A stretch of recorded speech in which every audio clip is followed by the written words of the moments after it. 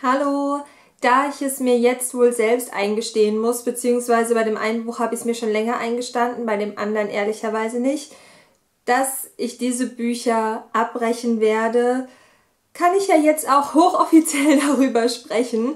Und anstatt sie in irgendeinem Lesemonat zu zeigen, weil sie tatsächlich schon so lange hier rumliegen, dass es mir schwerfallen würde, sie einem Lesemonat zuzuordnen, dachte ich, ich mache ein eigenes Video darüber. Bei zwei Büchern lohnt sich das ja auch auf jeden Fall. Und es sind tatsächlich auch zwei Bücher, bei denen mir bestimmt einige übel nehmen werden, dass ich sie abgebrochen habe. Natürlich nicht ernsthaft. Aber ich glaube, einige werden es nicht so verstehen. Aber das ist ja immer so eine Sache, weil es ja so super subjektiv ist. Ich zeige sie euch jetzt einfach. Ich erkläre euch meine Gründe. Und sind wir ganz ehrlich, ihr könntet versuchen, mich zu überzeugen, aber es wird schwer. Fangen wir mit dem Buch an, bei dem ich mir eben tatsächlich schon eingestanden habe, dass es ein abgebrochenes Buch ist. Und zwar Augustus von John Williams. Von John Williams habe ich ja Stoner gelesen letztes Jahr und ich habe es geliebt. Es war eines meiner Jahreshighlights. So ein, so ein, so ein tolles Buch. Und habe mir dann Augustus gekauft, obwohl es thematisch nicht wirklich mein Fall ist. Also das alte Rom interessiert mich schon irgendwie tatsächlich. Ich habe ja auch Latein gehabt, obwohl das ehrlich gesagt gezwungenermaßen war. Ich wusste auch, ich werde es nie gebrauchen können oder war mir da relativ sicher. Aber ich hatte die Wahl zwischen dem naturwissenschaftlichen Zug, was einfach bedeutet hätte, noch mehr Chemie, Physik und Krams, den ich absolut 0,0 drauf hatte, und dem sprachlichen Zug, was bedeutet hat, noch Latein mit dazu zu nehmen. Also habe ich mich dann doch lieber für Latein entschieden. Und meine damalige Lehrerin hatte es ziemlich drauf, die geschichtlichen Fakten spannend zu präsentieren und es gibt ja auch sehr viele sehr interessante Geschichten. Aber es ist jetzt, um wieder zum Thema zurückzukommen, ähm, bei einem Buch nicht unbedingt das, wozu ich sofort greifen würde. Augustus ist auch tatsächlich ein Roman. Es ist kein Tatsachenbericht. Natürlich gibt es schon viele Punkte und ich recherchiere bei sowas gerne nach, die den Tatsachen entsprechen, aber das Drumherum und die Form und so weiter, das ist alles frei erfunden. Vor allem auch die ganzen Briefe, um die es hier geht. Denn was ich nicht wusste, als ich mir das Buch gekauft habe, ist, dass es ein Briefroman ist. Auch das hätte mich nicht abgehalten, eher im Gegenteil. Ich mag sowas tatsächlich ganz gerne, aber es war auch ein Teil des Problems, das ich damit hatte. Denn ich kam super, super schwer rein. Also ich habe es jetzt abgebrochen auf Seite 104 und hatte immer noch nicht so richtig das Gefühl zu verstehen, was da abgeht. Und das, obwohl ich eben schon so ein bisschen nachrecherchiert habe, einmal aus Interesse und aber auch, um mehr zu verstehen. Und ich habe es trotzdem nicht so richtig verstanden, weil auch ganz viele Namen sich doppeln und mehr als doppeln. Und dann springen wir auch manchmal in der Zeit. Und ich weiß nicht, aus den Gründen ist es auch tatsächlich ein Buch, von dem ich sage, ja, ich breche es ab, aber ich werde es nicht aussortieren, weil ich mir vorstellen könnte, dass es in dem Moment für meinen Kopf nicht das Richtige war, weil ich, ich habe null durchgeblickt und ich kam mir zwischendurch schon richtig dumm vor. Und dann irgendwann habe ich ein bisschen mehr verstanden und ich fand es auch ganz gut, aber es war mir immer noch irgendwie zu anstrengend. Ich hatte das Gefühl, ich muss mir das so wahnsinnig erarbeiten.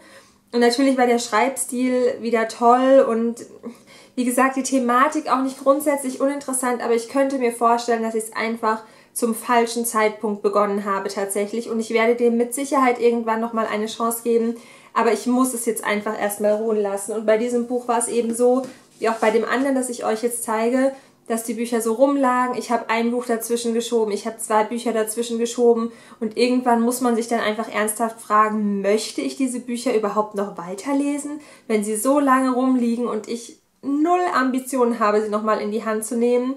Und die Antwort darauf war nein.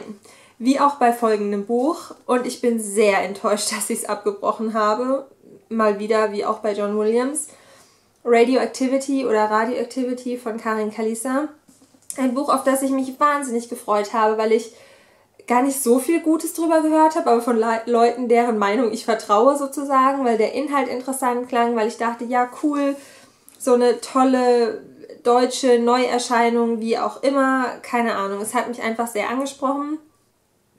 Und ich habe angefangen zu lesen und ich fand die Sprache direkt toll. Also die Sprache ist wahnsinnig ausgefeilt, ähm, literarisch schon anspruchsvoll, aber auch irgendwie sehr, sehr poetisch und alles sitzt irgendwie. Und ja, ich habe die erste Seite gelesen, dachte, wow, dieses Buch muss toll werden, die Sprache ist so grandios. Und letzten Endes war aber die Sprache ein sehr, sehr großes Problem für mich, denn es war zu viel Sprache und zu wenig Handlung. Also dieses Buch habe ich auch bei knapp 100 Seiten abgebrochen, bei Seite 96 oder 97 und es ging nicht mehr. Also auch dieses Buch fand ich enorm anstrengend, aber auf andere Weise als Augustus. Die Sätze in diesem Buch sind unfassbar lang. Ich habe mir mal den Spaß erlaubt, einen Satz, bei einem Satz die Zeilen zu zählen und es waren neun. Und ich muss zugeben, dass auch ich zu langen Sätzen neige, sei es in irgendwelchen E-Mails, sei es in meinen Aufsätzen früher, obwohl neun Zeilen habe ich noch nie geschafft. Aber ich kann euch sagen, wenn ihr so einen langen Satz habt und eine Lehrerin oder ein Lehrer, der verlangt, jeden einzelnen Fehler zu korrigieren, indem man den kompletten Satz nochmal schreibt, es wurde mir damit nicht ausgetrieben, aber es war nicht so witzig, wenn du für einen blöden Kommafehler irgendwie mehrere Zeilen abschreiben musst. Naja, jedenfalls war mir das dann irgendwann zu anstrengend und too much und es wurde einfach zu viel umschrieben, anstatt dass mal was passiert ist. Und ich habe das bei anderen Büchern auch schon gesagt, ich kann nicht allein von toller Sprache leben, vor allem wenn die Sprache irgendwann anstrengend wird. Ich brauche keine Bücher, in denen die ganze Zeit Action ist. Aber dann brauche ich schon irgendwie Sprache plus Atmosphäre plus, weiß ich nicht, spannende Protagonisten oder so. Aber ich habe hier knapp 100 Seiten gelesen von etwa 300 oder 350, 340 so. Und bin gefühlt noch nicht mal an der Haupthandlung entlang geschrammt. Also es ging so super, super lange, wie diese drei Leute diesen Radiosender aufbauen. Also es geht eben um äh, Nora, die bei einem Radiosender arbeitet. Das ist so ein, weiß gar nicht, wie ich es nennen soll, so ein Indie-Radiosender, den sie mit zwei anderen Typen aufgebaut hat. Und sie nutzt diesen Radiosender, um einen Täter zu stellen, der ihrer Mutter was Schlimmes angetan hat. Und das ist ja ein super interessantes Thema. Ich fand dieses Medium Radio irgendwie als Mittelpunkt toll, weil das gefühlt ja gar nicht mehr so eine große Bedeutung hat.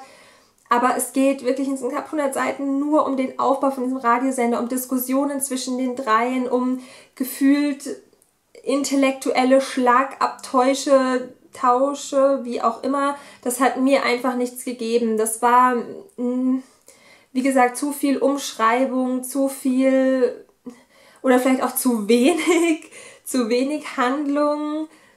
Und ja, nee, also ich, wie gesagt, das war so ein Buch, ich habe mir erst vor kurzem eingestanden, dass ich es tatsächlich jetzt wohl schon abgebrochen habe, ohne es so zu formulieren, weil es wirklich super lange bei mir rumlag. Und es hat mir echt wehgetan, weil ich die Sprache eigentlich am Anfang so toll fand. Und sie ist auch toll, aber sie ist eben so ausformuliert und so krass im Vordergrund, dass alles andere dahinter zurücksteht. Und das ist irgendwann sehr, sehr anstrengend. Und mir ging dann auch so ein bisschen der Lesefluss verloren, weil ich auch das Gefühl hatte, jeder Satz soll mit Bedeutung beladen sein und das war mir insgesamt einfach zu viel. Ich finde, dann wirkt die Sprache auch nicht mehr. Wenn alles so bedeutungsschwer sein soll, dann kann ich da keine einzelnen besonderen Sätze mehr rausziehen, sondern dann ist es einfach irgendwie zu viel und Arbeit und von anderem wiederum zu wenig. Also es ist super schade, aber auch dieses Buch breche ich ab und da bin ich ganz ehrlich, der Fall liegt nicht wie bei Augustus. Der, der das ist für mich durch. Also ich kann mir nicht vorstellen, dass ich es nochmal in die Hand nehme und ja, es tut mir sehr leid. Es war auch ein teures Hardcover, das schmerzt ein bisschen, aber darum geht es jetzt nicht hauptsächlich. Schade, schade. Wie gesagt, schreibt mir super gerne eure Meinung dazu. Ich weiß, es gibt viele, die die beiden Bücher lieben, aber für mich war das leider nichts. Mehr kann ich dazu auch nicht sagen und wir sehen uns dann im nächsten Video wieder. Tschüss!